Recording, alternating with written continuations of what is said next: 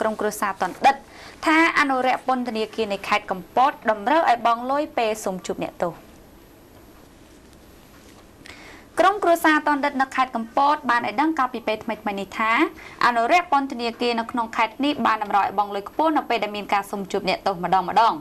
ស្ត្រីម្នាក់ដែលប្តីរបស់គាត់ជាប់ឃុំនៅទីនោះបានថ្លែងថារាល់ការសុំជួបអ្នកទោសត្រូវតែបង់លុយឲ្យសន្តិសុខនៅទូនៅទីនោះក្នុងម្នាក់ម្នាក់30000រៀលហើយបើសិនជាចង់យកអាហារឲ្យអ្នកទោសខាងក្នុងត្រូវឆ្មាំងបង្ខំឲ្យបង់ប្រាក់100,000រៀលក្នុងមួយខែមួយខែថែមទៀតអ្នកស្រីបន្តថារាល់ការផ្ញើរបស់របរឲ្យក្រុមគ្រួសារដែលជាប់ឃុំគឺមិនដែលបានដល់ដៃគ្រប់ចំនួនទេបើសិនជាផ្ញើប្រាក់30000គឺនៅសល់ត្រឹមតែ10000រៀលតែប៉ុណ្ណោះអ្នកស្រីបន្ថែមថារបៀបរបបអ្នកទោសស្នាក់នៅក៏ដូចមិនដូចគ្នានោះទេអឺបើអ្នកណាមានប្រាក់ច្រើនបងឲ្យគេតាមការកំណត់នឹងអាចរស់នៅកន្លែងសុខស្រួលដាច់ដោយឡែកពីគេថែមទាំងមានអ្នកយកចិត្តទុកដាក់ថែមទៀតផងបើសិនជាអ្នកទោសណាគ្មានប្រាក់វិញត្រូវស្នាក់នៅផ្ដុំគ្នារស់ក្រោមការគៀបសង្កត់ពីឆ្មាំងពន្ធនាគារជាមួយគ្នាអ្នកស្រីបានស្នើសុំដល់មន្ត្រីស្ថាប័នពាក់ព័ន្ធមេត្តាជួយស៊ើបអង្កេតលើភាពមិនប្រក្រតីរបស់ពន្ធនាគារមួយនេះ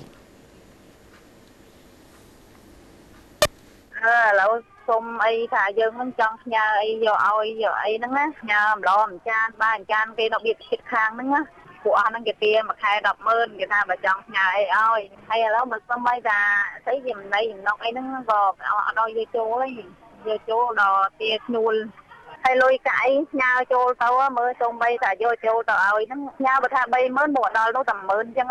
បើថាផ្ញើ20000អីចឹងដល់នោះសងអត់អញ្ចឹងបាន5000អីចឹងខ្ញុំទៅដល់ដងតែមុនយក3 30000ទៅ3អ្នកម៉ែកូនដឹងអស់90000អាហើយយកទាទាធ្វើមើលអាអ្នកប្រពន្ធកូនហ្នឹងវាមានមន់ណាស់ចឹងអាអ្នកជាប់ហ្នឹងជាប់ហ្នឹងហើយបានវាអត់លុយ